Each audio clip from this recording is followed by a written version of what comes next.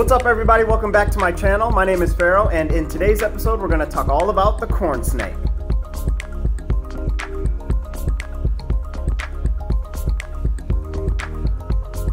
So we're going to go over basic information, care, and personality. I'll introduce you to our corn snake. This is Salsa and you can see why we named her Salsa. She definitely has a salsa coloration to her body.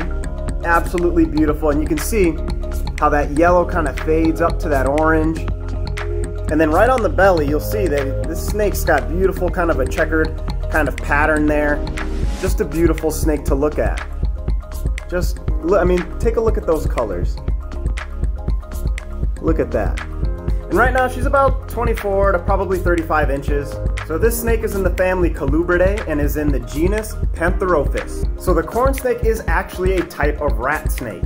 This snake is capable of growing a little over 70 inches in length. Now you can actually find these guys all over the east coast of the United States. The corn snake is a constrictor, so he will use his body to wrap around its prey and eventually swallow it whole. Now out in the wild, these snakes will eat mice, rats, birds, lizards, bats, frogs, and pretty much anything they can get a hold of. Here we feed Salsa one rat pup about once a week. And as you can see, Salsa absolutely loves eating her food.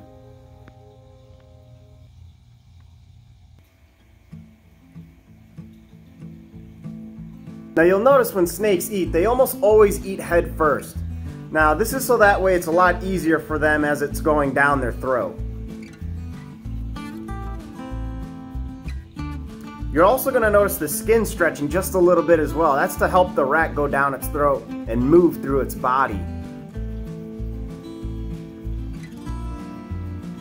So like I said, you guys, these snakes live all over the east coast of the United States. They'll do well in a lot of different habitats.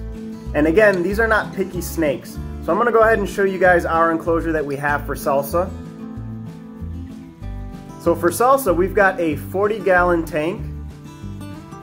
We've got plenty of furniture. We have a hide on the right side. We have a hide in the middle of the tank. And we have a hide a little bit higher on the top left corner of the tank, right at the top of that branch. I've added some leaves, some moss to make it look a little bit more natural. And for the substrate, I use Reptibark.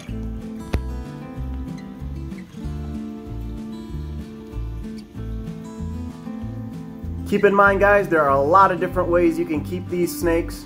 There is no perfect way or just one way. There are several different options.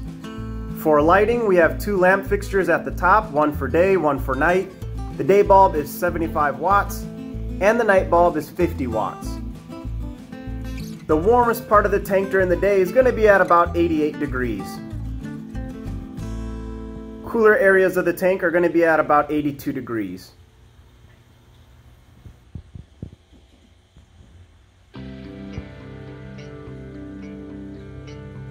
So breeding season usually takes place in March and in May. Late May, early July, they're gonna lay their eggs. And a female will lay anywhere between 10 to 30 eggs, sometimes a little bit more. So they're usually gonna lay their eggs in a place where it's rotting vegetation, so they have a little bit of incubation going on. And the eggs will incubate anywhere between 60, sometimes 70 days, and then they'll soon hatch in September. When they hatch, they're only about maybe 9 to 14 inches in length.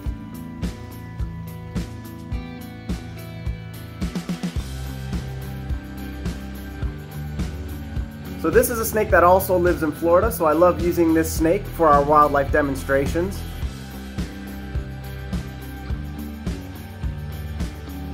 Predators that this snake needs to look out for out in the wild would be birds of prey, raccoons, foxes, little babies swimming across a pond could get eaten by a fish or maybe even a turtle. And if they live in Florida, the Florida king snake. As always guys, when handling, always hold with care, always hold with respect. Don't grab the snake, no fast movements. Let the snake kind of move through your hands as if you were to be a branch or a tree, and the snake is going to be a lot better off and is going to feel just a lot better.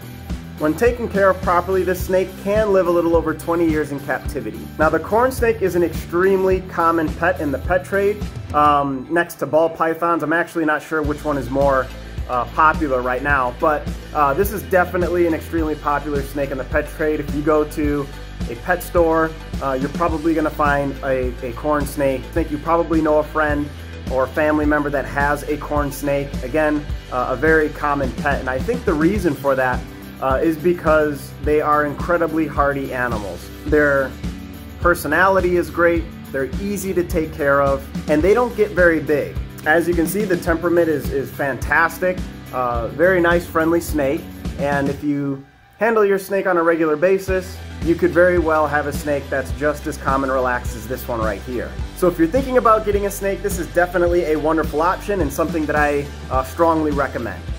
So as always guys, if you enjoyed the show, give me a thumbs up. If you have any questions, leave it in the comment section down below. And if you want to support my channel, hit that subscribe button and I'll see you again on the next episode.